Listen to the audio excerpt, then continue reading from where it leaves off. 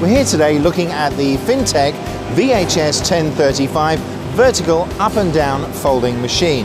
Now the key feature of this machine is the vertical stroke.